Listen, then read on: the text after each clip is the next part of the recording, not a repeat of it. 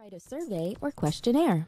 To write a survey or questionnaire, you want to cover every possibility and avoid being misunderstood. Make sure you know what information you're after and make it easy for your subjects to help you find it. You will need defined issues, writing and editing skills, clarity, and test subjects. Step 1. Prepare by defining the issues you are exploring and the objectives for the questionnaire. Clarify specifically what you want answered, eliminating generalizations so that you can draw reliable data.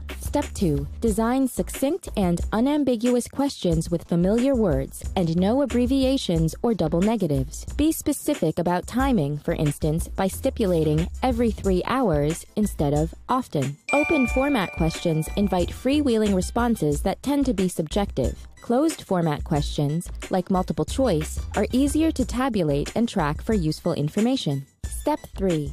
Separate questions rather than making them dependent on previous or subsequent questions. Dependent questions can confuse, alienate, and add a level of uncertainty in your findings. Step 4. Avoid writing a survey or questionnaire that uses leading questions that, intentionally or not, preserve the likelihood of a certain result. Offer clearly distinct choices. Step 5.